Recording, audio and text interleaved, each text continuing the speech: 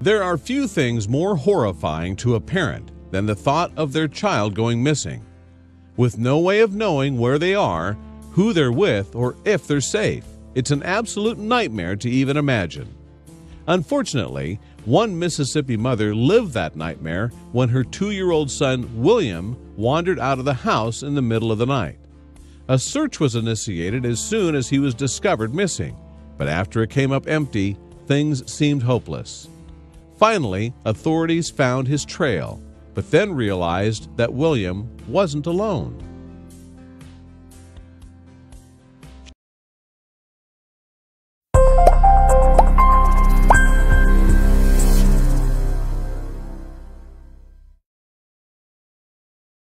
Chelsea Noble, 21 of Harrison County, Mississippi, woke up one night in October 2017 to a horrifying discovery.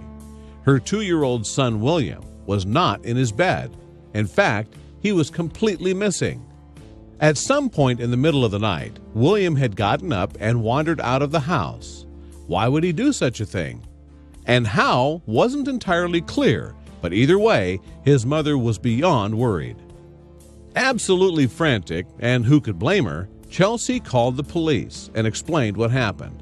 Almost immediately, a thorough search began throughout the entire county to locate the missing toddler.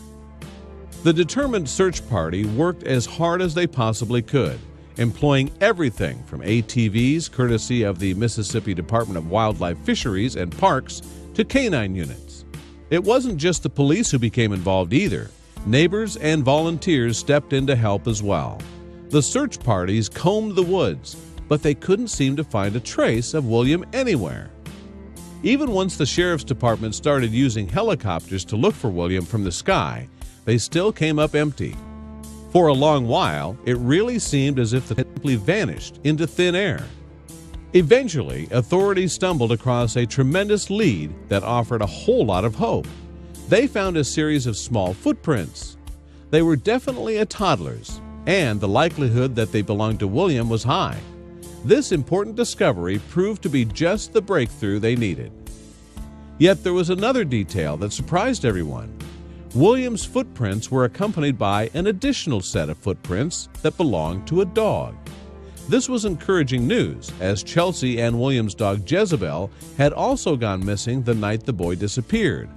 Evidence now suggested the two might be together. The final piece of the puzzle was soon discovered when 10 year old Blake Carroll was coming home from school and heard the horn on his uncle's old truck beeping. Upon investigation, he noticed a dog circling the truck, trying to get inside.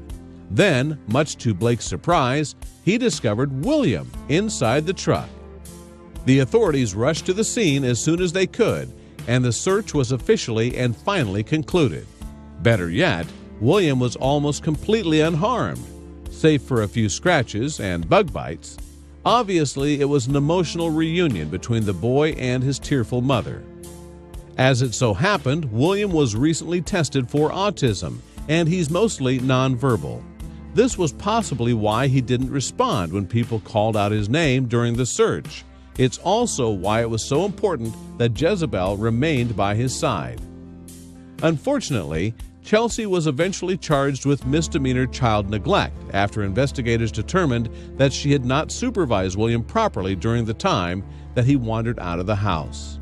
Meanwhile, Jezebel was praised by the sheriff's department for protecting William throughout the night and refusing to leave his side for no less than seven hours, Clearly, she was a loyal and loving pup. Whatever happens to William and Chelsea, the important part is that William is okay. It's all thanks to the hardworking police and volunteers and Jezebel.